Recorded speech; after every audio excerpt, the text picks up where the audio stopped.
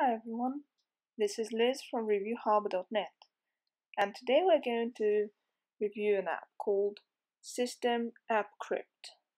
This is a Mac app and it allows you to lock any application on a Mac with a master password. When you first open the app after installation, you're asked to create a master password. You can choose to launch the app on startup and you have to agree to the warning where it says that basically if you lose your password, that's it. Right.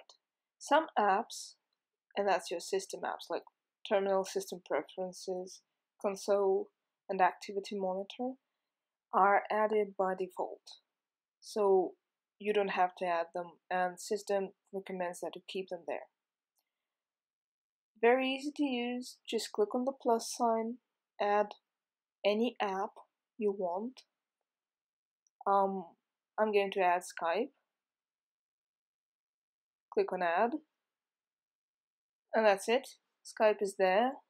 Now you need to enter your master password when you want it. Let's look at preferences. Okay, some options here.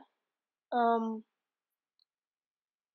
when someone tries to access your apps, the app takes a photo which is handy because you can see who tries to do that. Uh, what's there?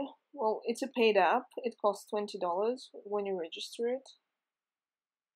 So here you can register it if you have the key, enter it here. You can evaluate the app.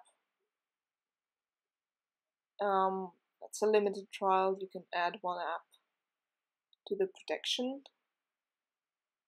and um, there is also help and that includes a PDF here is the PDF this is handy if you well I don't know if you want to learn more about AppCrypt. Even though I mean it's so easy to use that you don't really need to read that. The only thing I found different is that um, you actually have to drag it to the applications folder and it doesn't offer you to do that straight away. Anyway, let's remove some apps. That's easy. Just click on the minus sign, remove app, that's it. Yeah, let's remove them all. I mean, I can always add them back. There. Close the app. And, um, well, you can see it there at the top. And you need to enter your password to open the app again. And that's pretty much it. Add an app. Now it's Dropbox. That's it.